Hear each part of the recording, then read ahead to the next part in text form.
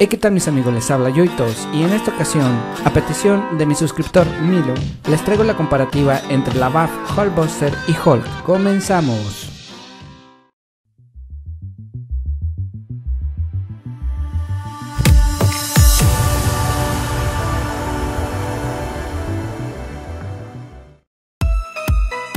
¿Qué tal? Y el día de hoy les traigo estas dos figuras.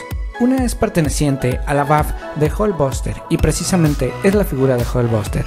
Y la otra es la figura de Hulk, la cual venía en un paquete también perteneciente a la BAF de Hulk, pero esta versión es la que ya viene completa en un solo empaque. Y ambas figuras son pertenecientes al universo cinematográfico de Marvel. Hulk pertenece a la primera película de los Avengers, mientras que Hulkbuster pertenece a la película de Avengers La Era del Trono.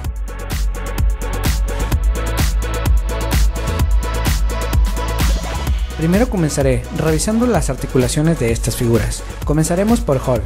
Esta figura tiene un detalle en particular. Los pies vienen moldeados de tal manera que es un poco difícil poderlo poner en pie.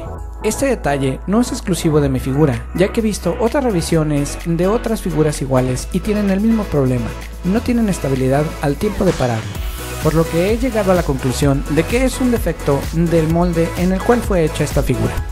Aún así, con un poco de esfuerzo podemos lograr que esta figura se mantenga en pie. El hombro cuenta con una articulación doble con la cual podemos hacer que flexione hacia arriba y hacia abajo de esta manera y girarlo en 360 grados, al igual que por debajo del bíceps.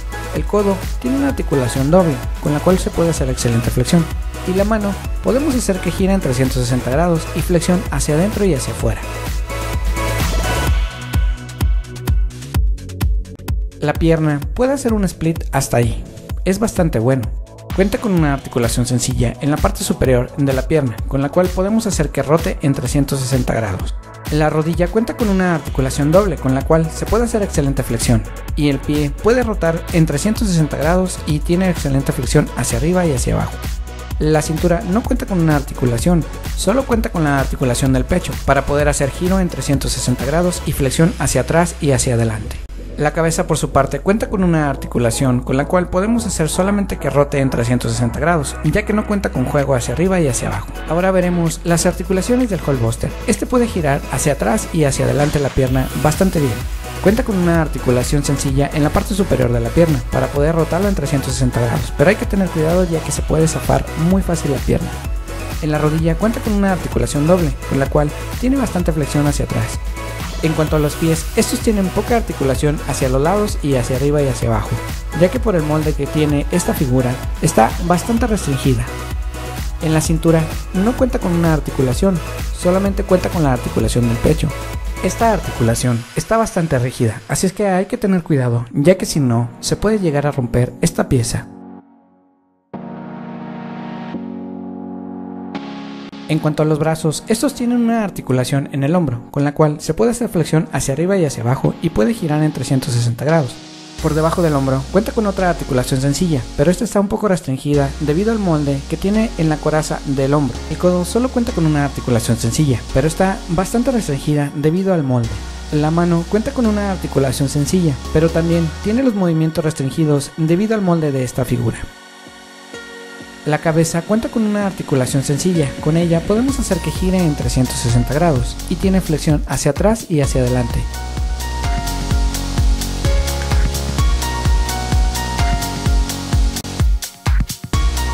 Vamos a ver la altura. Hulk alcanza las 8 pulgadas, algo así como 20 centímetros. Mientras que Hulkbuster alcanza las 9 pulgadas, algo así como 23 centímetros. También revisaremos el peso de estas figuras, ya que la figura de Hulkbuster es algo pesada. Pesa 750 gramos, algo así como 10 libras. Mientras que la figura de Hulk solamente llega a pesar 250 gramos, algo así como 9 libras.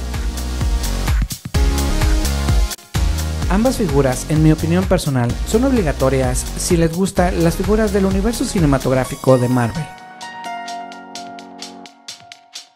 Y estas figuras están realizadas bastante bien, con mucho detalle y muy apegadas a su contraparte en las películas. Si les gustó el video, suscríbanse a mi canal, dejen un comentario, denle un like y hasta la próxima.